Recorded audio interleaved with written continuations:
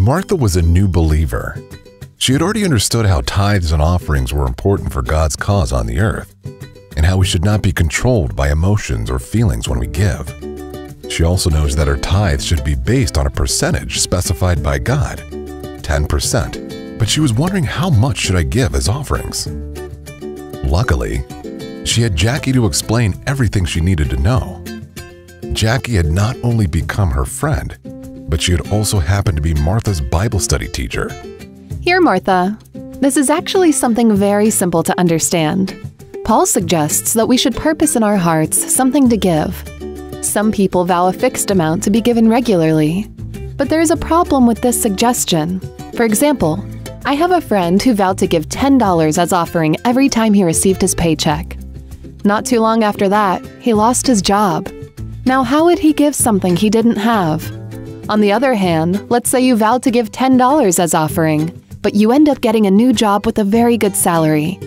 Do you think that $10 would be proportional to your blessing? So, how should I give my offering, you may ask? Well, the Bible suggests that we should give offerings according to the blessing, or according to the prosperity. It is much easier when we give in proportion. So, in this fair percentage based system of offerings, those who earn more, give more. Those who earn less, give less. And those who earn nothing, give nothing, and are considered truly faithful. Simple, right?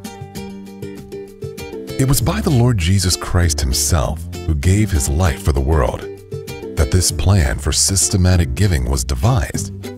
The cause would no longer be dependent on certain gifts of impulses and vary according to the changing feelings of men.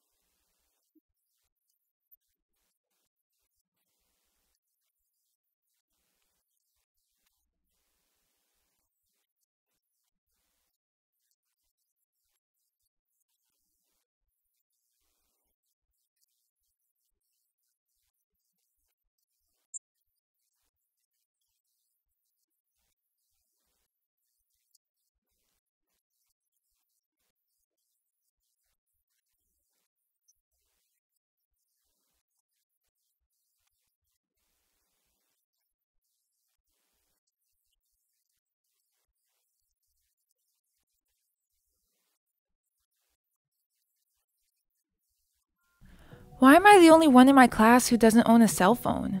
Why don't you purchase one? You know that I am just a student and that I don't have money. Then why don't you canvass? You'll be doing God's work and earning money. Luana was 15 years old when she considered her father's advice to canvass. At the end of her campaign, she was finally able to purchase her first cell phone after tithing and giving promise, a percentage based regular and systematic offering from all her income. The following year, she canvassed again, earning enough to pay for her expenses, returning God's part, and still saving some money. One day, her father was thinking about how to give her the best financial education. So he said, Hey, Luana, why don't you open a savings account to earn some interest from the money you have? But I no longer have that money. What? What do you mean? How did you spend all that money? Well, last Sabbath, the pastor told us that they launched a plan to renovate the church and ask those whose hearts were touched by God to give a free will offering, an offering of sacrifice, in addition to their tithe and promise. After praying, I decided that if you suggested that I open a savings account, this would be the sign that I should invest all the money into the church's renovation. So from now on, I no longer have that money. The Word of God invites us to regularly return tithes and give promise. But in addition to that, we may occasionally receive a call from the Holy Spirit to give also free will offerings. Ellen G. White says that that which you bestow in the cause of God is not lost. Instead, these resources are gaining continually in value and will be registered to your account in the kingdom of heaven. Then she adds that you are to be recipients of the eternal wealth, and all that you lay up above is secure from disaster and loss, and is increasing to an eternal and enduring substance